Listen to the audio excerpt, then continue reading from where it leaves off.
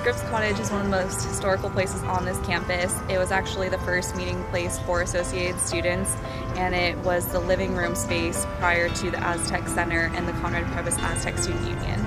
Okay, so this is a really great space for students just to come and relax, to hang back, to sit under trees, just take in some scenery, some nature. I know that I come here whenever I want to escape the hustle and bustle of school Remember the legacy of Ellen Browning Scripps. She was one of the world's leading philanthropists. She was on the cover of Time magazine in 1926 because she gave away so much money to so many good causes. And so when I think about the Scripps Cottage renovation, I think about the Ellen Browning Scripps, Scripps legacy. And that is a higher good. It's about philanthropy, it's about community engagement, and it's about service for all of us.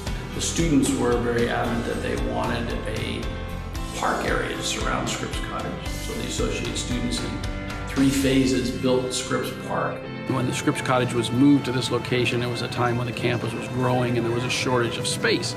So they had converted the porch for many years, probably 25 years, into a variety of office uses. Until we just did the remodel, you could not actually access the building from the patio. So by creating a completely flow-through facility, I think it's going to make Scripps Park really um, an integral part of Scripps Cottage.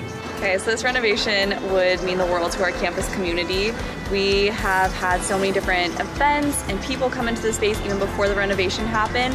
And with this renovation, we foresee so many more campus partners, different community members coming and using the space. So over the past two academic years, we've been able to have over 500 different events in this space. We've also had over 30,000 different people in this space as well.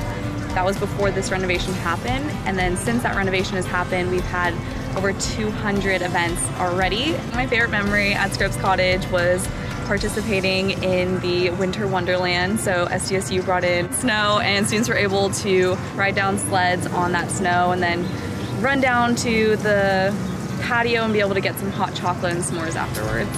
One thing I'd like to emphasize is that Scripps Cottage, it's a time capsule right here. Just to my right, we have the bricks from the original normal school. We have the time capsule from the cornerstone of the 1899 campus. We have the Freedom Tree from 1973 dedicated to POWs and MIAs.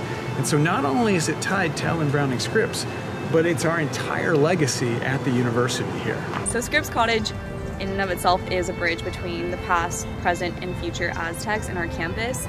It has been around for generations and we really want to protect its legacy and make sure that it's here for future generations of Aztecs.